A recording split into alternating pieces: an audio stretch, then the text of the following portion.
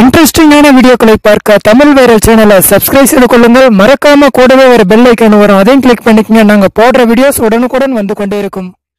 நடிகை சில்க் சுமிதா தமிழ் சினிமாவிற்கு கிடைத்த மிகப்பெரிய பொக்கிஷம். சில்க் சுமிதா என்றவுடன் உடனே நம் நினைவுக்கு வருவது எடுப்பான உடலமைப்பும் கவர்ச்சியான கண்களும் தான். ஆனால் அந்த கதாநாயகியின் வாழ்க்கையில் மறைந்திருக்கும் கருப்பு பக்கங்களை யாராலும் கண்டுபிடிக்க முடியவில்லை. காரணம் சில்க் தன்னை பற்றிய ரகசியங்களை யாருக்கும் சொல்லாமல் ரகசியமாகவே மறைத்து வைத்திருந்தார். சில்க் சுமிதா தன்னை பற்றிய ரகசியங்களை வெளியுலகத்திற்கு சொல்லாமல் மர்மமாகவே வைத்திருக்க யார் காரணம்? யார் அவரை மிரட்டினார்கள்? சில்க் சுமிதா யாருடைய கட்டுப்பாட்டில் அந்த நேரத்தில் இருந்தார்?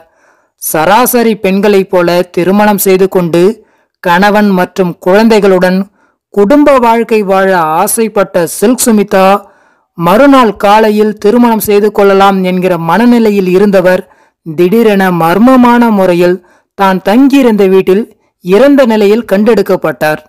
சில்க் சுமிதா விபரீத முடிவு எடுத்து விட்டார் என பரபரப்பாக ஒரு தரப்பு மக்கள் சொன்னார்கள். மற்றொரு தரப்பு மக்கள் சில்க் சுமிதாவை திட்டமிட்டே முடித்து விட்டார்கள் யாரையோ காப்பாற்றுவதற்காக. இருபத்தி ஒன்று செப்டம்பர் ஆயிரத்தி தொள்ளாயிரத்தி தொண்ணூத்தி ஆறு அன்று இரவு சில்க் சுமிதாவிற்கு நடந்த கொடுமைகள் ஏராளம்.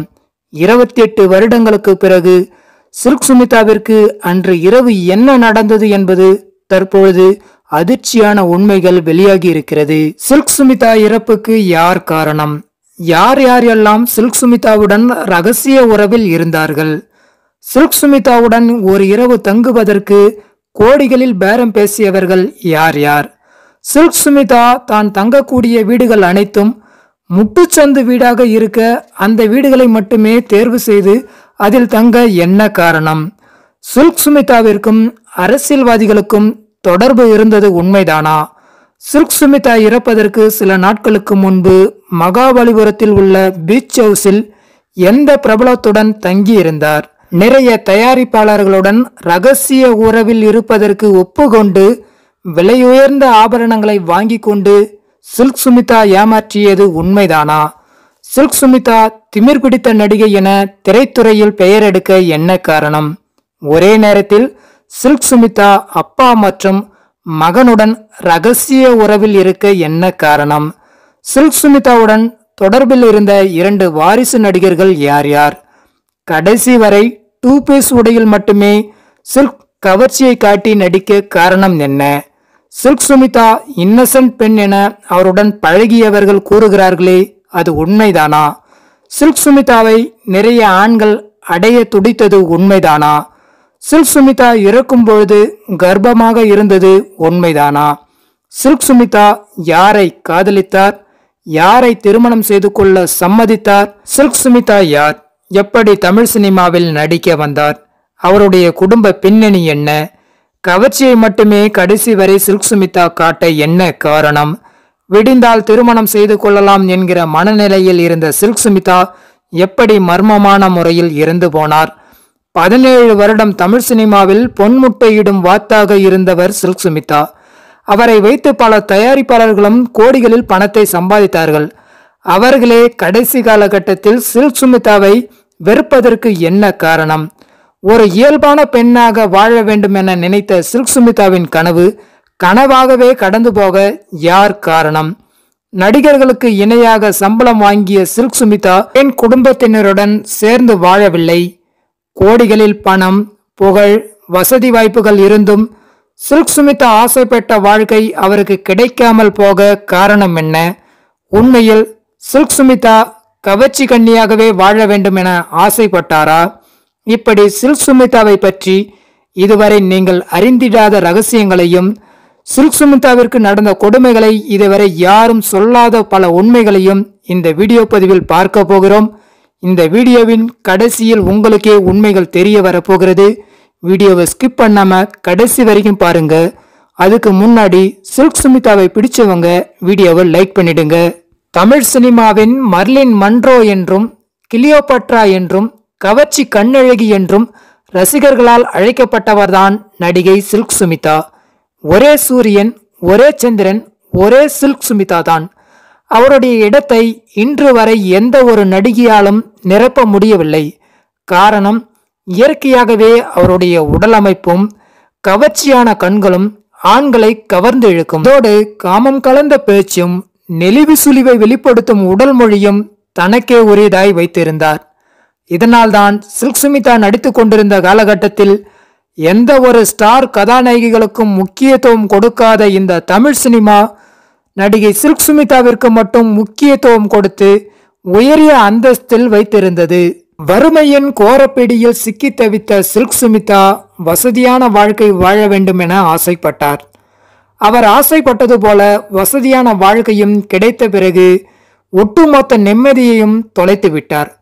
ஒவ்வொரு நாளும் இரவு பொழுதை கழிக்க பல ஆண்களின் நெருக்கடிகளை சந்திக்க வேண்டிய நிலைமைக்கு தள்ளப்பட்டார். எதிரிக்கு கூட இப்படி ஒரு நிலைமை வரக்கூடாது.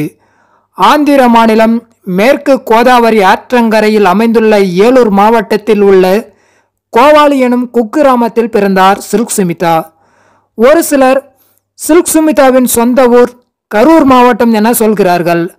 ஆனால் அதற்கான ஆதாரம் எதுவும் இல்லை. என்னதான் சில்க் சுமிதா தமிழ் சினிமாவில் நடித்து பிரபலமாக இருந்தாலும் அவருடைய சொந்த ஊர் மக்களுக்கு சில்க் சுமிதா யார் என்று தெரியவில்லை.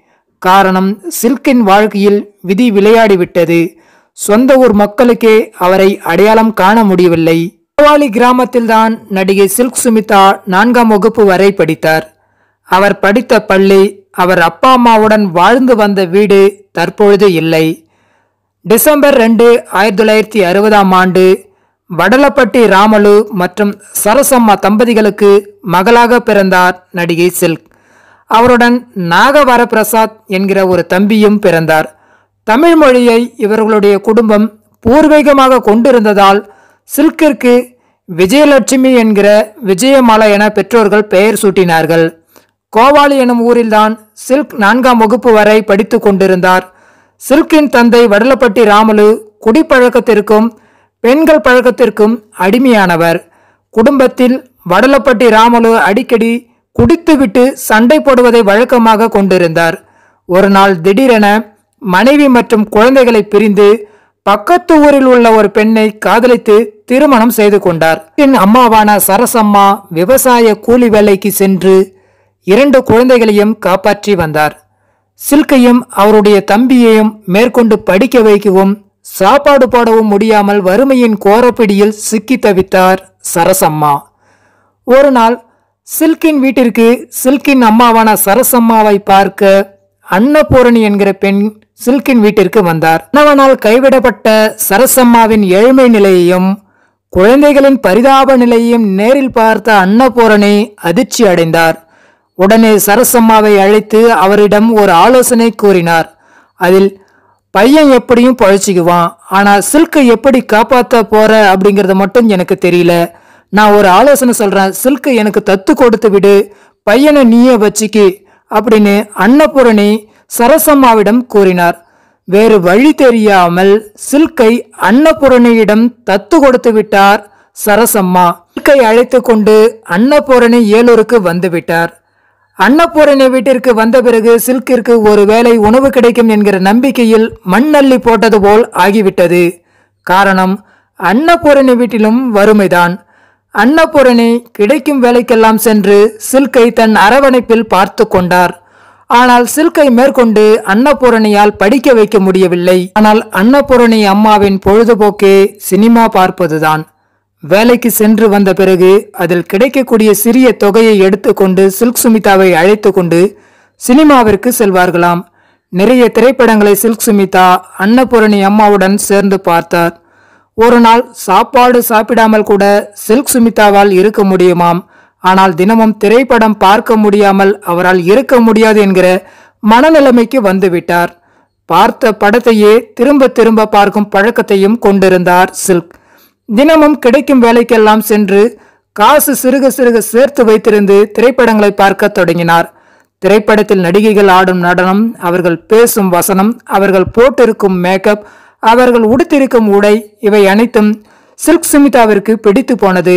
வீட்டுக்கு வந்த பிறகு நடிகைகள் போட்டிருக்கும் மேக்கப்பை தான் போட்டுக்கொள்வது அவர்கள் உடுத்திருக்கும் உடையைப் போல தான் உடுத்திக் கொள்வது இதே போல தன் தோழிகளுக்கு மேக்கப் போட்டு விடுவது நடனம் ஆடுவது. கலைத்துறையில் சில்கிற்கு இருக்கக்கூடிய ஆர்வத்தை தெரிந்து கொண்ட அன்னபூரணி அம்மாவும் சில்கின் தோழிகளும் அவருக்கு மேக்கப்பை போட்டு ஊர் திருவிழாவின் போது நடனத்தை ஆட வைத்து அழகு பார்த்தார்கள். சில்கின் நடனம் ஊர் மக்களையும் கவர்ந்து இழுத்தது. பல இளைஞர்களின் பார்வையும் சில்க் சுமிதாவின் மீது விழ ஆரம்பித்தது. இதை தெரிந்து கொண்ட அன்னபூரணி அம்மாவும் சில்க் சுமிதாவிற்கு இனிமே பாதுகாப்பு இருக்காது. ஆண்கள் இல்லாத வீடு. நாமும் அடிக்கடி வேலைக்கு செல்கிறோம். சில்க் சுமிதா வீட்டில் தனிமையாக இருப்பார். அவருக்கு பாதுகாப்பு இருக்காது என்கிற ஒரே காரணத்திற்காக அதே பகுதியை சேர்ந்த ஒரு இளைஞருக்கு சில்க் சுமிதாவை திருமணம் செய்து வைத்து விட்டார். சில்க் சுமிதாவிற்கு பருவ வயது. குடும்ப வாழ்க்கை என்றால் என்னவென்று அவருக்கு தெரியாது. கணவரும் குடிப்பழக்கத்திற்கு அடிமையானவர். இரவு நேரங்களில் குடித்துவிட்டு வந்து சில்க் சுமிதாவை அடித்து துன்புறுத்த தொடங்கினார். சுமிதாவிற்கு தினமும் இரவு நேரத்தில் கணவர் மூலமாக நடக்கக்கூடிய கொடுமைகளை பார்த்து அன்னபூரணி அம்மாவால் சகித்து கொள்ள முடியவில்லை. இதற்கு உடனே ஒரு முடிவு கட்ட வேண்டும் என எண்ணி சில்க் சுமிதாவை அழைத்து கொண்டு ஏலூர் மாவட்டத்திலிருந்து இரவோடு இரவாக சென்னைக்கு வந்தார். குட்டை பாவாடை சட்டை பாய் தலகாணியுடன் அன்னபூரணி அம்மாவுடன் சென்னைக்கு வந்தார் நடிகை சில்க் சுமிதா. சென்னையில் உள்ள பழைய லிபர்டி தியேட்டர் அருகில் சினிமா வாய்ப்பிற்காக பெண்கள் அங்கு தங்கி வாய்ப்புகள் தேடுவது வழக்கம். அந்த இடத்தில்தான் அன்னபூரணி அம்மாவும் சில்க் சுமிதாவை தங்க வைத்து வாய்ப்புகளை தேடினார்கள். ஆனால் கிடைக்கவில்லை. அதற்கு மாறாக ஒரு வீட்டில் பணிப்பெண்ணாக வேலையில் சேர்ந்தார் நடிகை சில்க் சுமிதா. பணிப்பெண்ணாக வேலை பார்த்து கொண்டே அப்பகுதி பெண்களுக்கு மேக்கப் போட்டு விடுவது அவர்களோடு திரைப்படத்தில் வரக்கூடிய நடனங்கள் ஆடி காட்டுவது வசனங்கள் பேசுவது இது போன்ற வேலைகளையும் பார்த்து வந்திருந்தார். அந்த நேரத்தில் தான் இயக்குனரும் நடிகருமான வினு சக்கரவர்த்தி வண்டி சக்கரம் திரைப்படத்தில் சாராய கடையில் சிலுக்கு என்கிற கதாபாத்திரத்தில் நடிக்க நடிகையை தேர்வு செய்யும் பணியில் ஈடுபட்டிருந்தார். படத்தின் தயாரிப்பாளரான திருப்பூர் மணி என்பவர் தமிழ் சினிமாவிலிருந்து பத்து கதாநாயகிகளை அழைத்து வந்தார். ஆனால் அந்த கதாபாத்திரத்தில் நடிப்பதற்கு அவர்கள் பொருத்தமாக இருக்க மாட்டார்கள் என திரும்பவும் அனுப்பி வைத்து விட்டார்கள். அதற்கு பிறகு வினு சக்கரவர்த்தி அவர்கள் நடிகை சில்க் சுமிதாவை சந்தித்தார். சில்க் சுமிதா மாவு அரைப்பதற்காக வந்திருந்தார். மாவு அரைத்து கொண்டு உள்ளே இருந்து வெளியே வரும்பொழுது வினு சக்கரவர்த்தி சில்க் சுமிதாவை பார்த்து விட்டார். சில்க் சுமிதாவின் உடலமைப்பும் அவருடைய கண்களும் இவர் நிச்சயம் தமிழ் பெண்ணாக இருக்க முடியாது என்பதை அவர் புரிந்து கொண்டார். சில்க் சுமிதாவை நேரில் அழைத்து உன்னுடைய பெயர் என்ன? எங்கிருந்து வருகிறாய்? என கேட்டார். என்னுடைய பெயர் விஜயமாலா. தெலுங்கு. இங்கு ஒரு வீட்டில் பணிப்பெண்ணாக வேலை பார்த்து கொண்டிருக்கிறேன் என கூறினார். பணிப்பெண்ணாகவே தொடர விருப்பமா? அல்லது வேறு ஏதாவது வேலை தெரியுமா? என சில்கிடம் அவர் கேட்டார். உடனே சில்க் சுமிதா எனக்கு ஏதாவது டான்ஸ் ஆடுற மாதிரி வேஷம் வந்தா நல்லா இருக்கும் என வினு சக்கரவர்த்தியிடம் கூறினார். இரண்டு நாட்கள் கழித்து என்னுடைய அலுவலகத்தில் வந்து என்னை பார் என வினு சக்கரவர்த்தி சில்க் சுமிதாவிடம் கூறிவிட்டு புறப்பட்டு சென்று விட்டார். இரண்டு நாட்கள் கழித்து சில்க் சுமிதாவும் வினு சக்கரவர்த்தியை நேரில் சந்தித்தார். அப்பொழுது சில்க் சுமிதாவிற்கு கேமராவை எப்படி பார்க்க வேண்டும் கண் அசைவுகள் உடல் மொழிகளை எப்படி வெளிப்படுத்த வேண்டும் என பத்து நாட்கள் ட்ரைனிங் கொடுக்கப்பட்டது. சில்கிற்கு கவர்ச்சியான உடைகள் கொடுக்கப்பட்டது. அதோடு மேக்கப்பும் போடப்பட்டது. அதற்கு பிறகு சில்க் சுமிதாவை போட்டோஷூட் செய்தார்கள். விதவிதமான போஸ்கள் கொடுக்க செய்து அந்த போட்டோஷூட்கள் எடுக்கப்பட்டு அந்த போட்டோக்கள் அனைத்தையும் நடிகர் வினு சக்கரவர்த்தி படத்தில் நடித்த நடிகரான சிவகுமார் தயாரிப்பாளரான திருப்பூர் மணி இயக்குனர் கே. விஜயன் இவர்களிடம் காட்டினார். யார் யா இந்த பொண்ணு? எங்க பிடிச்ச? செம்ம அழகா இருக்காங்க. இந்த படத்தில் அவங்க நடிச்சா மிகப்பெரிய ஹிட் கொடுக்கும் என ஆரம்பத்திலே அவர்கள் கணித்தார்கள். அதற்கு பிறகு சில்க் சுமிதாவை அவர்கள் நேரில் அழைத்து சில்க் சுமிதா வண்டி சக்கரம் திரைப்படத்தில் நடிப்பதற்கான அனைத்து ஒப்பந்தங்களும் போடப்பட்டது. சில்க் சுமிதாவிற்கு வினு சக்கரவர்த்தி அவர்கள் வண்டி சக்கரம் திரைப்படத்தில் சுமிதா என பெயரை வைத்து திரைப்படத்தில் அறிமுகம் செய்தார். அந்த திரைப்படத்தில் சில்க் சுமிதா பனிரெண்டு நாட்கள் நடித்தார். ஆயிரத்தி தொள்ளாயிரத்தி எழுபத்தி ஒன்பதில் வண்டி சக்கரம் திரைப்படம் வெளியானது. தமிழகம் முழுவதும் பட்டி தொட்டி எங்கும் சில்க் சுமிதாவின் கதாபாத்திரம் மிகப்பெரிய வரவேற்பை சம்பாதித்தது. சில்க் சுமிதாவின் வரவேற்பு தமிழ் சினிமாவில் மிகப்பெரிய தாக்கத்தை ஏற்படுத்தி இருந்தாலும் எப்படி இப்படி ஒரு வாய்ப்பை நடிகை சில்க் சுமிதாவிற்கு நடிகர் வினு சக்கரவர்த்தி அவர்கள் கொடுத்தார் என்கிற கேள்வியும் கேட்கப்பட்டது. சில்க் சுமிதாவிற்கும் வினு சக்கரவர்த்திக்கும் ரகசிய உறவு இருக்கிறது என பல கிசுகிசுகள் வெளிவந்தது. இது குறித்து சிங்கப்பூர் மீடியா ஒன்று வினு சக்கரவர்த்தியிடம் உங்களுக்கும் நடிகை சில்க் சுமிதாவிற்கும் என்ன உறவு இருக்கிறது என கேள்விகள் கேட்டது. அதற்கு நடிகர் வினு சக்கரவர்த்தி அவர்கள் எனக்கும் நடிகை சில்க் சுமிதாவிற்கும் அப்பா மற்றும் மகள் இவர்களுக்குள் என்ன உறவு இருக்கிறதோ அதே உறவுதான் எங்களுக்குள் இருக்கிறது. மீண்டும் மறுபிறவி என்று ஒன்று இருந்தால் அதில் சில்க் சுமிதா எனக்கு மகளாக பிறக்க வேண்டும் என ஆசைப்படுகிறேன் என வினு சக்கரவர்த்தி கூறி அனைவரையும் ஆச்சரியத்தில் ஆழ்த்தியிருந்தார். வண்டி சக்கரம் திரைப்படத்தில் நடிகை சில்க் சுமிதா கவர்ச்சியாக நடித்து தமிழ் சினிமாவையே திரும்பி பார்க்க வைத்திருந்தாலும் தமிழ் சினிமாவில் அவருக்கு மீண்டும் நடிக்கக்கூடிய வாய்ப்புகள் அதிகமாகவே கிடைத்தது. ஆனால் கவர்ச்சியான கதாபாத்திரத்தில் மட்டுமே சில்க் சுமிதா நடிக்க வேண்டும் என தயாரிப்பாளர்கள் இயக்குனர்கள் நடிகர்கள் ஆசைப்பட்டார்கள். அதிலும் குறிப்பாக சில்க் சுமிதா டூ பீஸ் உடை மட்டுமே உடுத்திருக்க வேண்டும். அந்த உடையில்தான் அவர் திரைப்படத்தில் நடிக்க வேண்டும் என வேண்டி விரும்பி கேட்டுக்கொண்டார்கள். ஒரு சிலர் கட்டாயப்படுத்தினார்கள். அதற்கு பிறகு நடிகை சில்க் சுமிதா தமிழ் சினிமாவில் அலைகள் ஓய்வதில்லை. மூன்றாம் பிறை சகலகலா வல்லவன் தேர்ப்பு தனிக்காட்டு ராஜா ரங்கா மூன்று முகம் பாயும் புலி தங்க மகன் உள்ளிட்ட பல வெற்றி படங்களில் நடித்து தமிழ் சினிமாவில் தவிர்க்க முடியாத நடிகையாக மாறினார். ரஜினி கமலுடன் இணைந்து மிகப்பெரிய வெற்றி திரைப்படங்களையும் கொடுத்தார். சூப்பர் ஸ்டார் நடிகர்களுக்கு இணையான சம்பளம் மதிப்பு மரியாதை சில்க் சுமிதாவிற்கு தமிழ் சினிமாவில் கிடைத்தது. தமிழ் மலையாளம் தெலுங்கு கன்னடம் இந்தி என ஐந்து மொழிகளிலும் நானூத்தி ஐம்பதற்கு மேற்பட்ட படங்களில் நடித்திருக்கிறார். தமிழ் சினிமாவில் நடிக்க வந்த குறுகிய காலத்தில் யாரும் அவ்வளவு எளிதில் அடைய முடியாத உச்சத்தை சில்க் சுமிதா அடைந்தார். சில்க் என்கிற பெயர் இந்திய அளவில் உள்ள சினிமா பிரபலங்களின் கவனத்தை ஈர்த்தது. வித்தியாசமான பெயரும் கூட. வண்டி சக்கரம் படத்தில் வினு சக்கரவர்த்தி அவர்கள் சில்க் என்றுதான் நடிகை சில்க் சுமிதாவிற்கு பெயர் வைத்தார். ஆனால் காலப்போக்கில் சில்க் என பெயர் மாறிவிட்டது. காரணம் சிலுக்கின் உடல் பளபளப்புடனும் தொட்டால் வழுக்கி கொண்டு போகும் அளவிற்கு அவருடைய மேனி இருந்தது. மேலும் சில்க் பட்டு சென்னையில் வாணிப ஸ்தலத்திற்காக ஆங்கிலேயர்கள் பயன்படுத்திய ரோடு தான் சில்க் ரோடு. இந்த பெயரை தான் சில்க் சுமிதாவிற்கு சில்க் என வைத்து விட்டார்கள் சில்க் சுமிதா சென்னைக்கு வந்த ஆரம்ப காலகட்டத்தில் இருநூறு ரூபாய்க்கான வாடகை வீட்டில் மட்டுமே தங்கினார். தமிழ் சினிமாவில் நடித்து வசதி வாய்ப்புகள் கூடிய பிறகு அதற்கு தகுந்தாற் போல வீட்டையும் மாற்றிக்கொண்டே இருந்தார். அதிலும் குறிப்பாக சில்க் சுமிதா முட்டு சந்தாக இருக்கக்கூடிய வீட்டில்தான் தங்கியிருக்கிறார். வசதி வாய்ப்புகள் கூடிய பிறகு சில்க் சுமிதா ஏன் முட்டு சந்துகளில் இருக்கக்கூடிய வீட்டில் தங்க வேண்டும் என்கிற பல சந்தேகங்கள் அப்பொழுது வந்தது. சில்க் சுமிதா திரைமறைவில் ஏதோ ஒரு தொழிலை செய்து வருகிறார் என்கிற சந்தேகம்தான் அது. சில்க் சுமிதாவுடன் ஒரு இரவு தங்குவதற்கு ஒரு கோடி ரூபாய் பேரம் பேசப்பட்டது எனவும் ஒரு மணி நேரம் தங்குவதற்கு சில்க் சுமிதாவை தொட்டு பார்க்க சில்க் சுமிதாவுடன் நேரில் பேச இது போன்ற ஒவ்வொரு விஷயத்திற்கும் ஒரு குறிப்பிட்ட தொகை பேரம் பேசப்படுகிறது என்கிற பல உறுதிப்படுத்தப்படாத தகவல்கள் வெளியாகியிருந்தது. சில்க் சுமிதா தான் குடும்பத்தை பிரிந்திருப்பதனாலும் பாதுகாப்பற்ற ஒரு சூழ்நிலையில் இருப்பதாகவும் ஏதோ ஒரு தனிமை அவருக்கு தேவைப்பட்டதனால்தான் அவர் முட்டு சந்தாக இருக்கக்கூடிய வீடுகளை தேர்வு செய்து தங்கினார் எனவும் அப்பொழுது பதிலளிக்கப்பட்டது. எண்பதுகளின் ஆரம்ப காலகட்டத்தில் தமிழ் சினிமாவில் திரைப்படங்கள் வெளியாகும் பொழுது அதில் கட்டாயம் சில்க் சுமிதா நடித்திருக்க வேண்டுமாம். சில்க் சுமிதா நடிக்கவில்லை என்றால் மக்கள் தியேட்டருக்கு படம் பார்க்க செல்ல மாட்டார்களாம். ஒரு படத்தில் சில்க் சுமிதா ஒரு பாடலுக்கு நடனம் ஆடியிருக்க வேண்டும் அல்லது அந்த படத்தில் ஒரு காட்சியிலாவது நடித்திருக்க வேண்டும். திரைப்படம் வெளியாகும் பொழுது போஸ்டர் ஒட்டப்படும். அதில் சில்க் சுமிதாவின் போஸ்டர் கட்டாயம் இருக்க வேண்டுமாம்.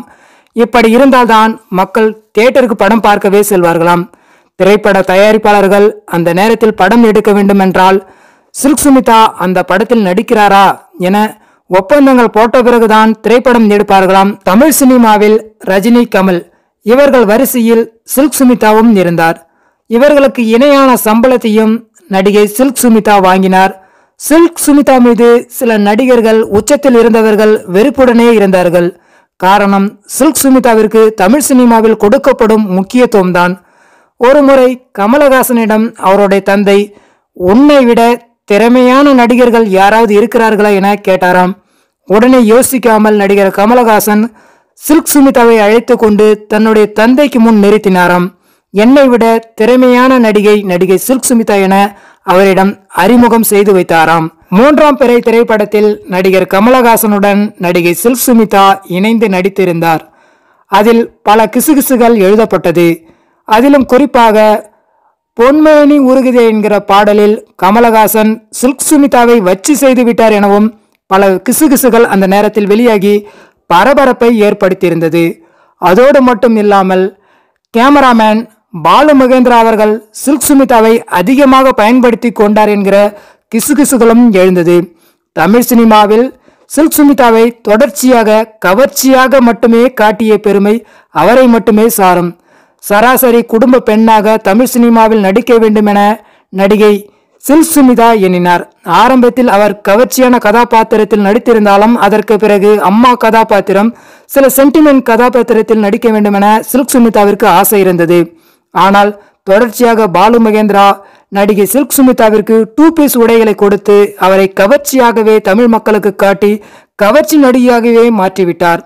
தயாரிப்பாளர்கள் இயக்குனர்கள் நடிகர்கள் என சில்க் சுமிதாவை டூ பீஸ் உடையை அவர்களுக்கு கட்டாயப்படுத்தி உடுத்த செய்து அதற்கு பிறகுதான் ஷூட்டிங்கே வர சொல்வார்களாம். டூ பீஸ் உடை தமிழ் சினிமாவில் ஏன் முக்கியத்துவம் கொடுக்கப்படுகிறது என்பதை நடிகை சில்க் சுமிதா காலம் கடந்த பிறகுதான் புரிந்து கொண்டாராம். கவர்ச்சியை தான் அதிகமாக எதிர்பார்க்கிறார்கள். இதனால்தான் தியேட்டருக்கு மக்கள் கூட்டமும் அலைமோதுகிறது என்பதை புரிந்து கொண்ட சில்க் சுமிதா அதற்கு பிறகு தான் நடிக்கக்கூடிய அனைத்து திரைப்படங்களிலும் உடல் மொழியாலும் கண் பார்வையாலும் பேச்சிலும் கவர்ச்சியை காட்டுவாராம். ஒரு பெண் ஆண்களை எப்படி கவர வேண்டும் என்பதற்கு சில்க் சுமிதாவின் நடிப்பை பார்த்துதான் தாங்களே தெரிந்து கொண்டோம் என எண்பது காலகட்டத்தில் இருந்த பெண்களே கூறியிருக்கிறார்கள். தமிழ் சினிமாவில் குறுகிய காலகட்டத்தில் உச்சத்தை அடைந்த நடிகை சில்க் சுமிதா தொடர்ந்து ஓய்வில்லாமலும் இரவு பகல் பாராமலும் நடிக்க வேண்டிய ஒரு சூழ்நிலைக்கு தள்ளப்பட்டார். சில்க் சுமிதாவின் தேவை தமிழ் சினிமாவிற்கு அப்பொழுது இருந்தது. சில்க் சுமிதா இல்லாத திரைப்படங்களே கிடையாது. சில்க் சுமிதா ஓய்வில்லாமல் நடித்து கொண்டிருக்கும் பொழுது அவர் தூங்காமல் இருக்க வேண்டும் என்பதற்காக பான் பிராக் ஃபோர் டுவெண்ட்டி பீடா ஸ்வீட் பீடா இது போன்ற பீடா வகைகளையும் பயன்படுத்தி வந்திருக்கிறார். கூடவே நடிகை சில்க் சுமிதாவிற்கு மது அருந்தும் பழக்கமும் இருந்திருக்கிறது. பொது நிகழ்ச்சிகளில் சில்க் சுமிதாவை கலந்து கொள்ள பிரபலங்கள் அழைப்பார்களாம். ஆனால் தனக்கு இருக்கக்கூடிய பழக்கத்தாலும் தன் மீது சில பிரபலங்கள் ஆசைப்படுகிறார்கள். அதனாலும் தனக்கு பாதுகாப்பு இருக்காது என்கிற ஒரே நோக்கத்திற்காக சில்க் சுமிதா பொது நிகழ்ச்சிகளில் கலந்து கொள்ள மாட்டாராம். ஒரு முறை சில்க் சுமிதா ஷூட்டிங்கில் கலந்து கொண்டிருக்கிறார். ஷூட்டிங் நடந்து கொண்டிருக்கும் பொழுது அதிகமான மக்கள் அந்த இடத்தில் கூடிவிட்டார்கள். இயற்கை உபாதை கழிப்பதற்காக திரைமறைவு ஒன்று செய்யப்பட்டது. சில்க் சுமிதா இயற்கை உபாதை கழிப்பதற்கு வருகிறார் என தெரிந்து கொண்ட சில ஆண்கள் அங்கு இருக்கக்கூடிய மரத்தின் மீது ஏறி அமர்ந்து கொண்டு சில்க் சுமிதா இயற்கை உபாதை கழிக்கும் பொழுது அதை பார்த்திருக்கிறார்கள். உடனே இதை பார்த்த சில்க் சுமிதா அவர்களை திட்டிவிட்டு அங்கிருந்து புறப்பட்டு சென்று விட்டார். இது என் வாழ்க்கையில் மறக்க முடியாத மோசமான அனுபவம் என்றார். அதிலிருந்து எந்த ஆண்களையும் தன்னிடம் நெருங்காதவாறு பார்த்து கொண்டார். நள்ளிரவில் கதை சொல்ல இயக்குனர்கள் தன் வீட்டிற்கு வர அனுமதி கேட்டால் கொடுப்பதில்லை. யாராவது தன்னை தொட்டு பேசினால் திட்டுவது அடிப்பது அட்ஜஸ்ட்மெண்ட்டுக்கு அழைத்தால் அவர்களை அந்த இடத்திலே அசிங்கமாக திட்டுவது இது போன்ற மிருகத்தனமாக சில்க் சுமிதா நடந்து கொண்டார். சில்க் சுமிதாவுடன் ரகசிய உறவில் ஈடுபட சில ஆண்கள் திட்டமிட்டிருக்கிறார்கள். சினிமா பிரபலங்கள் தொழிலதிபர்கள் அரசியல் பிரபலங்கள் அடங்குவார்கள். சில்க் சுமிதாவை அடைய என்ன செய்ய வேண்டும்? அவருடன் யார் நெருங்கிய நட்பு வட்டாரத்தில் இருக்கிறார்கள்? சில்க் சுமிதாவை அடைய அவருடைய ரேட் என்ன? ஒரு இரவுக்கு எவ்வளவு கேட்பார்? அதற்கு நாங்கள் என்ன செய்ய வேண்டும் எனவெல்லாம் கேட்பார்களாம். மேலும் சில்க் சுமிதா அவுட்டோர் ஷூட்டிங்காக வெளியில் சென்றபொழுது ஃபைவ் ஸ்டார் ஹோட்டலில் தங்கியிருந்தாராம். அந்த நேரத்தில் சில்க் சுமிதாவின் தோழியை அழைத்த பிரபலங்கள் சில்க் சுமிதாவின் ரேட் என்ன? அவருக்கு நாங்கள் எவ்வளவு கொடுத்தால் ஓகே சொல்வார் என பல கேள்விகளை கேட்டிருக்கிறார்கள். அது மட்டுமில்லாமல் திரைப்பட தயாரிப்பாளர்கள் சில்க் சுமிதாவை அழைத்து அவருடைய காலில் வைர கொலுசு அணிந்திருக்கிறார்கள். இதுபோன்ற வ- ஆபரணங்கள் விலை உயர்ந்த பொருட்கள் பணம் சில்க் சுமிதாவுடன் கொடுத்து எப்படியாவது ரகசிய உறவில் ஈடுபடலாம் என திட்டம் தீட்டியிருக்கிறார்கள். ஆனால் ஏமாற்றத்தை மட்டுமே நிறைய பேர் சந்தித்திருக்கிறார்கள். அவர்கள் ஏமாற்றம் அடைந்துவிட்டோம் என்கிற செய்தியை வெளியில் கூற மறுத்து விட்டார்களாம் இந்த விஷயங்களும் அந்த நேரத்தில் கிசுகிசுகளாக வெளிவந்து பலரின் கவனத்தையும் ஈர்த்தது. இங்கே சில்க் சுமிதாவிற்கு பிடித்திருந்தால் மட்டுமே கிரீன் சிக்னல் காட்டுவாராம். இரண்டு வாரிசு நடிகர்களின் திரைப்படத்தில் சில்க் சுமிதா நடிப்பதற்காக ஒப்பந்தமாகியிருக்கிறார். ஷூட்டிங்காக வெளியூர் சென்றிருந்த பொழுது சில்க் சுமிதா அவர்களோடு உல்லாசமாக இருந்ததாகவும் பத்திரிகைகளில் கிசுகிசுகள் அந்த நேரத்தில் வெளிவந்து பலரின் கவனத்தை ஈர்த்தது. வாரிசு நடிகர்கள் மட்டும் இல்லாமல் பெரிய நடிகர்களுடனும் சில்க் சுமிதா நெருக்கமாக இருந்திருக்கிறார் என அன்றைய காலகட்டத்தில் செய்திகள் வெளிவந்தது. நடிகை சில்க் சுமிதா தனக்கு நடக்கக்கூடிய பல பிரச்சனைகளை எண்ணி தினந்தோறும் வருந்திருக்கிறார் அழுதிருக்கிறார்.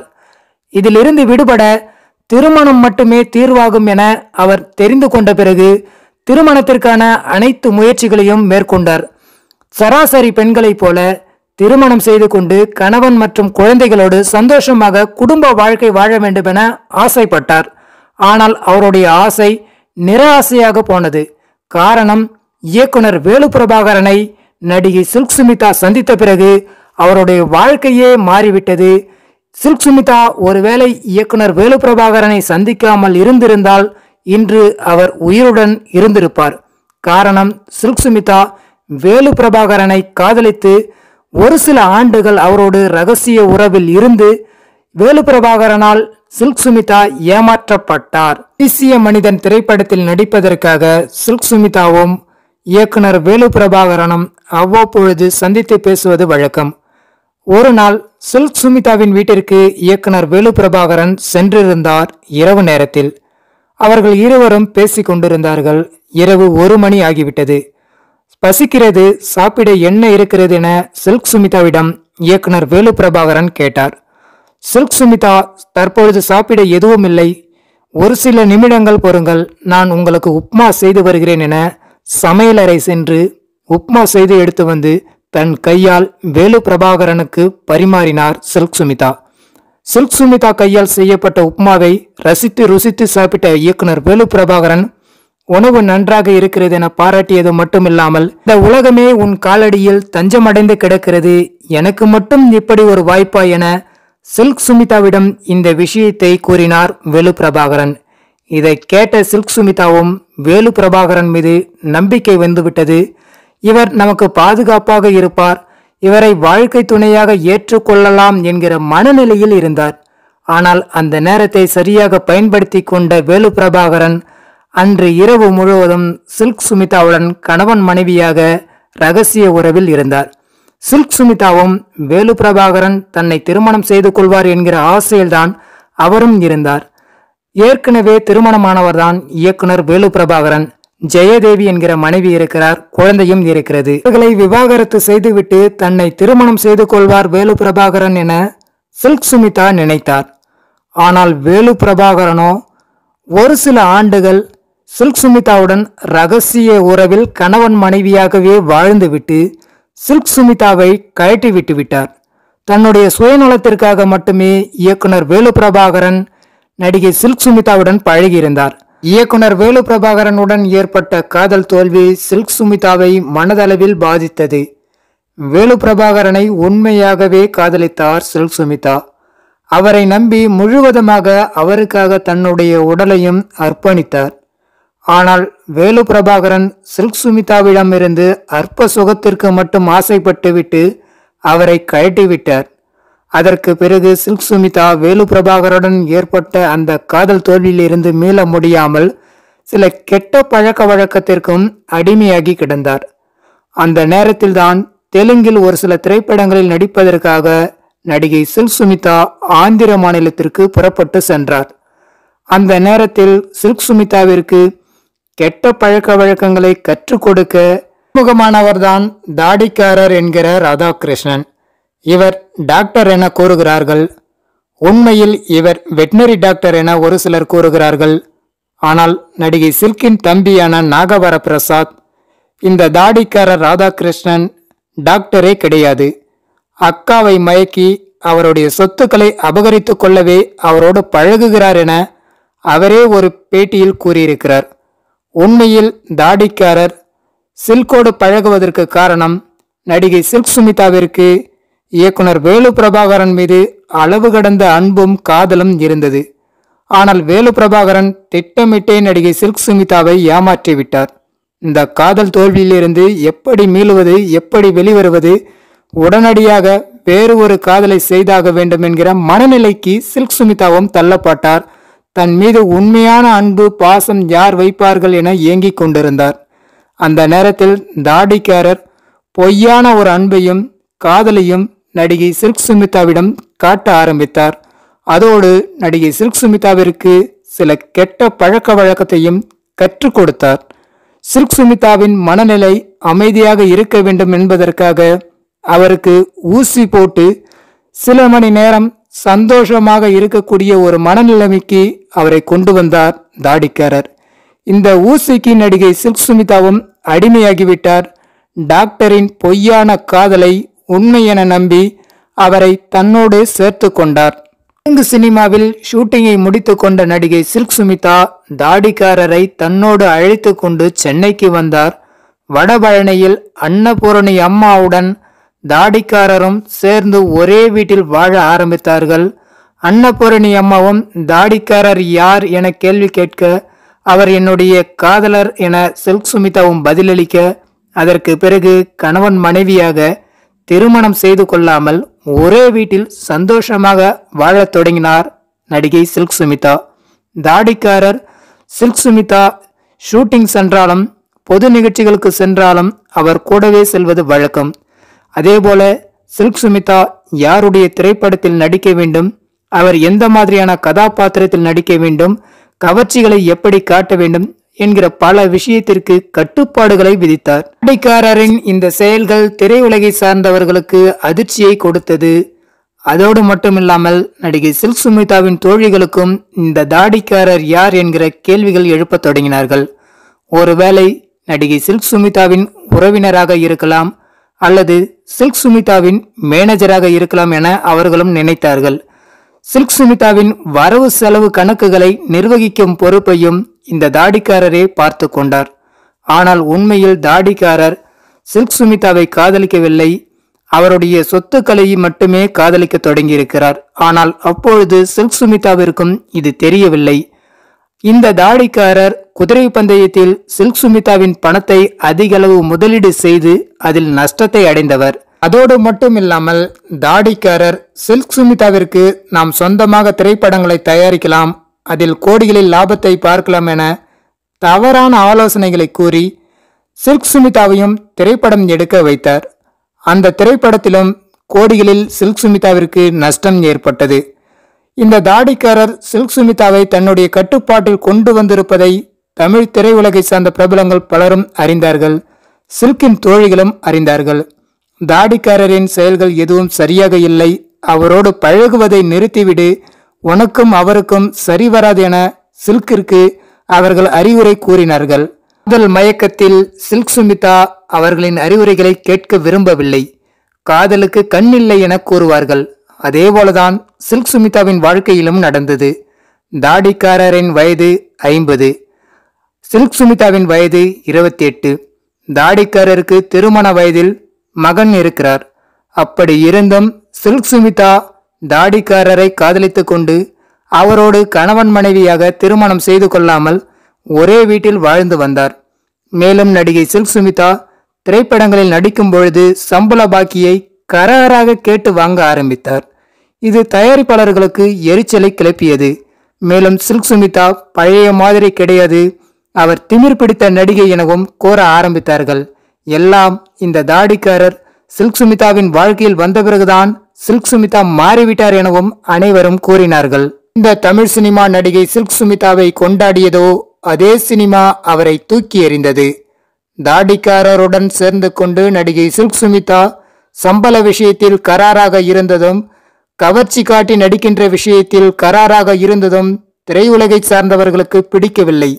இந்த நேரத்தில்தான் தாடிக்காரர் அவருடைய மகனை அழைத்து கொண்டு நடிகை சில்க் சுமிதாவின் வீட்டிற்கு சென்று சில்க் சுமிதாவிடம் அறிமுகம் செய்தார். தாடிக்காரர் மகனின் அழகில் மயங்கிய நடிகை சில்க் சுமிதா தாடிக்காரரை கழட்டிவிட ஆரம்பித்தார். தாடிக்காரரின் மகன் சில்க் சுமிதாவை விட வயதில் சிறியவர்தான். ஆனால் அவரோடு காதல் வசப்பட்டார். இதில் தாடிக்காரருக்கு தெரியாமல் தாடிக்காரர் மகனுடன் கணவன் மனைவியாக நடிகை சில்க் சுமிதா வாழ ஆரம்பித்தார். தாடிக்காரரை திருமணம் செய்து கொள்கிறேன் என வாக்குறுதி கொடுத்த சில்க் சுமிதா தாடிக்காரரை கழட்டிவிட்டவுடன் தாடிக்காரருக்கு மிகப்பெரிய வெறுப்பின் உச்சத்திற்கே சென்றார். தாடிக்காரரை கழட்டிவிட்ட நடிகை சில்க் சுமிதா தாடிக்காரர் மகனுடன் பீச் பார்க் தியேட்டர் என சுற்றுவதை வழக்கமாக வைத்திருந்தார். அதோடு ஃபைவ் ஸ்டார் ஓட்டல்களிலும் இவர்கள் இரவு நேரங்களில் தங்குவதையும் வழக்கமாக வைத்திருந்தார்கள். இது அரசல் புரசலாக வெளி உலகத்திற்கும் தெரிய ஆரம்பித்தது. ஒரு கட்டத்தில் இதை மறைக்க கூடாது என்பதற்காக நடிகை சில்க் சுமிதா தாடிக்காரர் மகனை வெளி உலகத்திற்கு அறிமுகம் செய்ய ஆரம்பித்தார். ஷூட்டிங் நடக்கும் இடத்திற்கு தாடிக்காரர் மகனை அழைத்து செல்வது என்னை சந்திக்க வரும் இயக்குநர்களிடமும் தயாரிப்பாளர்களிடமும் தாடிக்காரர் மகனை அறிமுகம் செய்து வைத்தார் நடிகை சில்க் சுமிதா. அதோடு மட்டுமில்லாமல் இவர் எனக்கு வேண்டப்பட்டவர்.